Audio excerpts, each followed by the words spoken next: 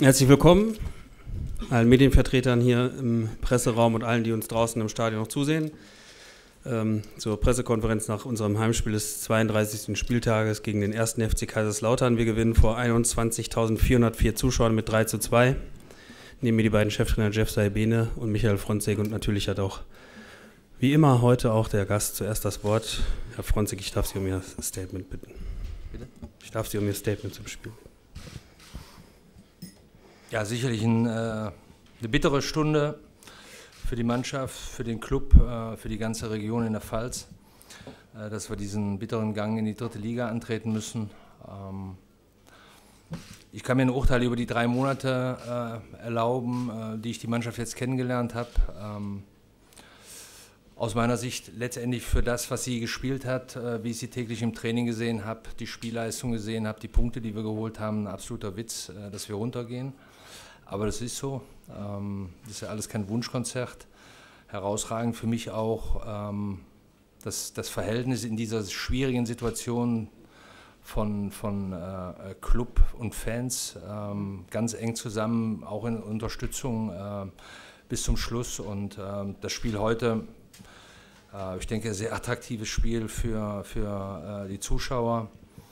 Äh, konnten das 2-0, was wir eigentlich gut vorbereitet hatten, ähm, dann mit dem Platzverweis, mit dem Elfmeter, dann konnten wir Dinge nicht mehr verhindern. Ähm, nach dem 2-2 äh, war ja klar, dass uns der Punkt auch nicht weiterhilft. Dann sind wir nochmal voll ins Risiko gegangen, ähm, hatten noch eine Riesenchance direkt vor dem äh, 3-2 der Bielefelder.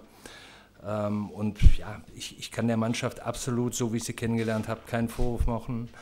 Ähm, bitterer Moment, äh, aber ich habe den Club jetzt so kennengelernt, dass er so stark ist dass er auch durch diese schwierige Zeit gehen wird.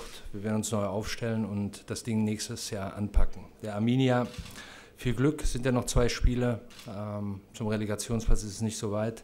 Alles Gute und ähm, das war es von meiner Seite. Ja, vielen Dank, Herr Fronzek. Jeff, ich darf dich um dein Statement bitten. Ja, ich denke, äh, auf der einen Seite unglaubliche Freude und, und äh, Euphorie, was die Leistung anbelangt. Auf der anderen Seite ein weinendes Auge für, ja, für den FC Kaiserslautern, äh, die jetzt doch seit Monaten, seitdem Michel da ist und auch schon seitdem mein Kollege Jeff da war, äh, wirklich gute Leistungen gezeigt haben. Die haben das heute wieder bestätigt und äh, ja, ich bin überzeugt, wenn sie so auch mit dem Trainerteam weiterarbeiten werden, werden, sie, werden wir sie in zwei Jahren wieder in der, in der zweiten Liga sehen. Also ich wünsche Ihnen das auf jeden Fall. Äh, ja, was das Spiel anbelangt, was soll ich da sagen? So viel Emotionen. Äh, ich denke, dass wir äh, gegen einen effizienten Gegner äh, unglücklich in Rückstand waren. Äh, wir hatten extrem viele Torchancen, schon erste Halbzeit 7, 8 mehr oder weniger und, und, und ja, Lautern extrem effizient.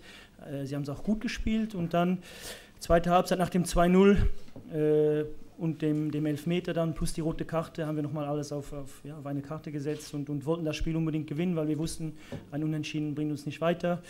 Ja, dann am Schluss war das Spiel auf, auf wirklich auf Messerschneide. Es hätte auf beide Seiten kippen können. Äh, Tego hat uns im Spiel gehalten, ein, zwei Mal, vor allem in, ja, ich glaube, zehn Sekunden vom 3-2 rettet er uns. Äh, ja, und dann hatten wir halt das Glück am Schluss auf unserer Seite und äh, aber was meine Mannschaft heute wieder geleistet hat, über 90 Minuten, äh, diese Begeisterung, diese Leidenschaft, diese Euphorie, äh, das ist schon auch großes Kino und ich denke, äh, wir können sehr, sehr stolz sein auf, auf, auf, unsere Truppe und freuen uns jetzt noch auf die zwei Spiele, vor allem St. Pauli auswärts, Highlight, dann noch letzte Heimspiel gegen Sandhausen. Ja, mal schauen, was noch möglich ist. Danke, Jeff. Gibt es Fragen an beide Trainer? Dann bitte ich kurz um das Handzeichen. Es gibt keine Fragen. Wir spielen nächste Woche bei St. Pauli das letzte Heimspiel dann gegen Sandhausen und ich glaube, ich, wir, der Verein hofft, dass dieses Duell demnächst auch in der zweiten Liga wieder stattfinden kann. Dem FCK dafür alles Gute. Vielen Dank für die Aufmerksamkeit.